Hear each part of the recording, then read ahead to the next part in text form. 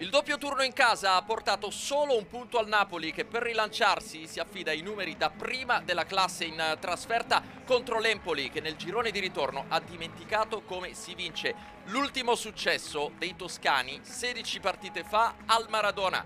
Spalletti per la prima volta schiera Osimen e Mertens insieme dall'inizio.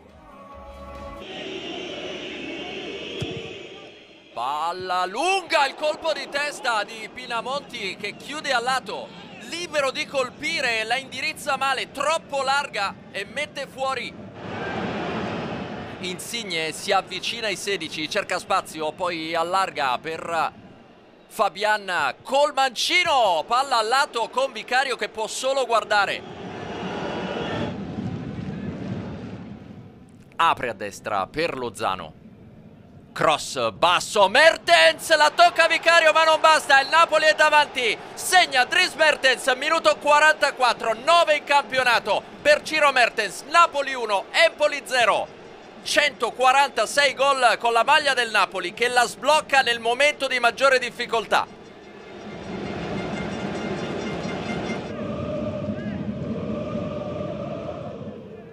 L'anticipo di Zambo Anghissà su Verre, spinge Zambo Anghissà, Insigne a sinistra, riceve, incrocia il mancino e il Napoli raddoppia, Lorenzo Insigne va in doppia cifra anche quest'anno per la quinta stagione di fila, 2 a 0 Napoli al Castellani, secondo gol su azione in campionato per il 24 e Napoli adesso più tranquillo.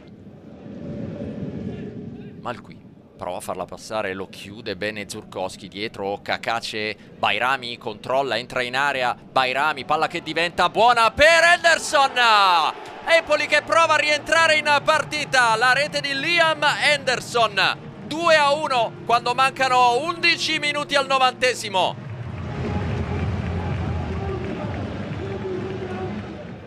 Torna a crederci anche Andreazzoli. Meret sbaglia tutto. Il pareggio di Pinamonti. Clamoroso l'errore di Alex Meret. Segna Pinamonti. Il gol più semplice forse della sua carriera. E l'Empoli la pareggia. Minuto 83.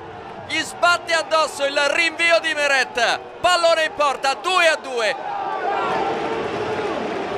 Bairami, Napoli lunghissimo, prova ad approfittarne il 10 dell'Empoli che spinge a destra, il cross dentro ancora per Pinamonti, la ribalta l'Empoli con la doppietta di Andrea Pinamonti, stavolta il merito è tutto suo, davanti la squadra di Andrea Azzoli in 7 minuti dallo 0 a 2 al 3 a 2.